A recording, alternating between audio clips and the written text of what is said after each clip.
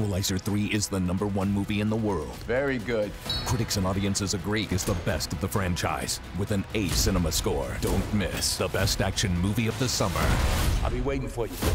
The Equalizer 3 now playing.